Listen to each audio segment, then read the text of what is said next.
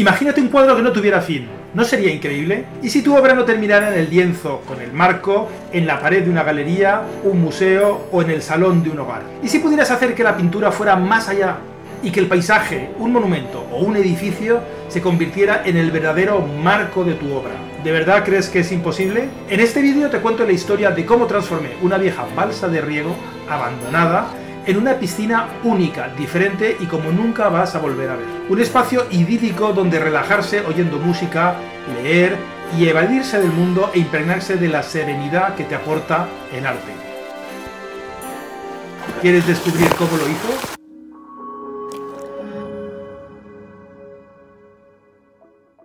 En 1998, cuando compramos nuestra casa, descubrimos una balsa de riego bastante fea, elevada y con pintura vieja. Yo siempre la imaginé rodeada de un mural con figuras pintadas, pero apenas empecé reconocí que no bastaba solo con tu ilusión. El entorno debía acompañar el mensaje de mi pintura. Lo cierto es que año tras año mejoraba la terraza sin continuar el mural. Al principio coloqué losetas de madera bastante baratas y duraron unos pocos años. A medida que se iban pudriendo las sustituía hasta que me decidí por añadir una capa de madera tropical. La madera es muy bonita en sí, pero tampoco es un material definitivo. Con el paso del tiempo y los años, las tablillas de madera tropical también se arqueaban y estropeaban. Las iba sustituyendo y arreglando, pero era demasiado trabajo. Cada primavera levantaba las maderas podridas y reparaba algunas zonas con tablillas nuevas.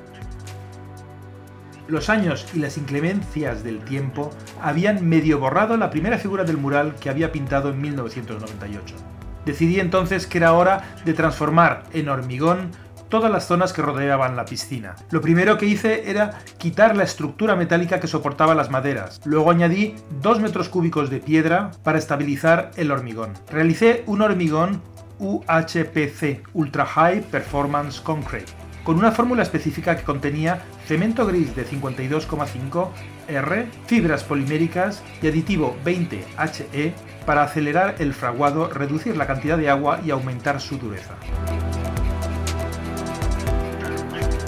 Primero colocamos todos los ingredientes secos y luego añadimos el agua junto con el aditivo muy poco a poco para controlar exactamente la densidad y la fluidez final del hormigón. Una vez la primera capa de hormigón ya endurecida, añado con cemento y arena ladrillos de barro cocido que me van a permitir dibujar el contorno final. Hacer un marco al cuadro que sirva de enlace con la terraza de madera, y ajustar el nivel de la última capa de cemento blanco que, si no tiene un borde, es muy difícil de controlar correctamente. La superficie final la hice con cemento blanco de 42,5 y una mezcla de arena de sílice de 2,4 milímetros y polvo de mármol, lo cual me generó una textura densa y a la vez algo rugosa para evitar los resbalones tan cerca del agua.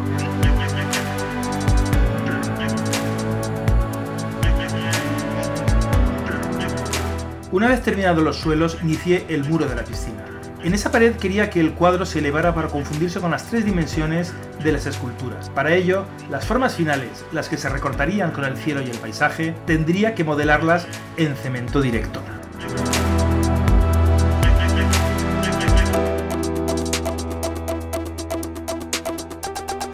La proporción que a mí más me gusta para modelar con cemento es de tres partes de arena viva y una parte de cemento. Esto le confiere a la pasta una ductilidad muy agradable y además será más duro e hidrófugo. Si usamos un saco de arena de 25 kilos, serían unos 8 kilos de cemento normal de 32,5 N, que es un cemento de resistencia media con un calor de hidratación reducido, lo cual ayuda a disminuir el riesgo de fisuración cuando lo utilizamos para hormigón. El cemento 32,5 N está adicionado con caliza que confiere una mejor trabajabilidad cuando lo utilizamos para lucir o enfoscar, o en este caso, para modelar.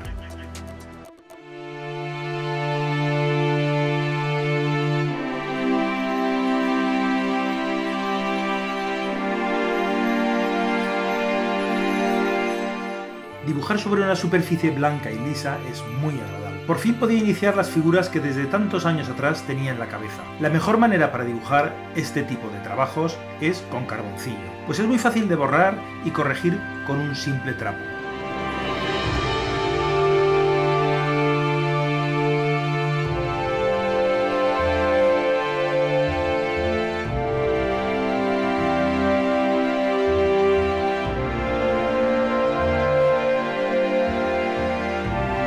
Mi idea siempre había sido que las figuras se fundieran con las formas del fondo y que se adaptaran al borde de la piscina. Quería dar una sensación de fusión entre las figuras, las formas geométricas, el color, el agua y el uso que le íbamos a dar de ese espacio tan agradable.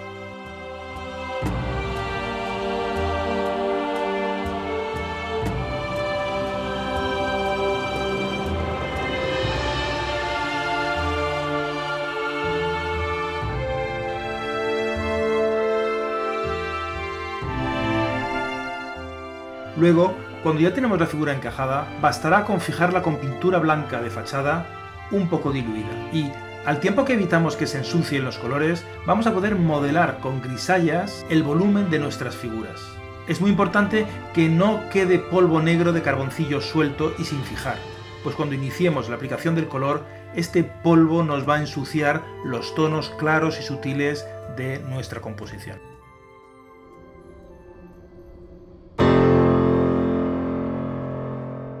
El color es mágico. Transformar el panel blanco en figuras vibrantes que surgen al sol es un proceso maravilloso. La temperatura veraniega facilita trabajar desde el agua y así, cada día, el mural avanza con la seguridad de reproducir lo que ya tenía en mente. Las figuras tumbadas, con sus líneas geométricas, que también forman parte del fondo, son el principal elemento de la obra. No obstante, no quiero que destaquen demasiado. Figura y fondo deben de unirse para que formen un todo único y homogéneo. Cuando las líneas anatómicas que definen una figura están abiertas y generan estructuras compositivas en el fondo, el mensaje que envío es que siendo la figura el centro de esa parte del cuadro, va a ser la composición global la que va a reinar en la percepción de la obra. O en otras palabras, no me interesa que destaque en exceso un elemento muy llamativo, como puede ser una figura femenina tumbada, si con ello va a perder relevancia el mural al completo. Y aquí tienes otro consejo. Hay veces que una parte de la obra puede tener una relevancia excepcional comparado con otras zonas. Puede ocurrir en un cuadro, vamos a decir, de tamaño tradicional, pero en un mural complejo y grande, con muchos elementos, mensajes y conceptos, es muy importante que la idea global de la obra prevalezca sobre algunas zonas que pueden destacar del resto.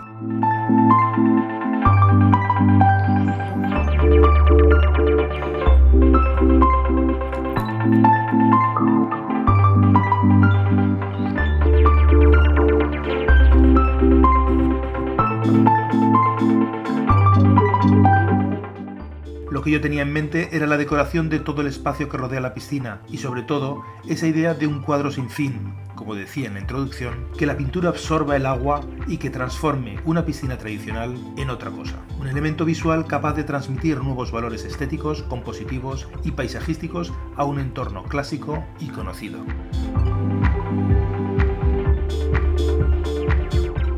Por último, y en cuanto a la pintura, he utilizado una pintura plástica sin diluir para generar una capa gruesa y que tenga más resistencia a la luz solar. Al final, todo el mural está protegido con un barniz especial para hormigón impreso de primera calidad.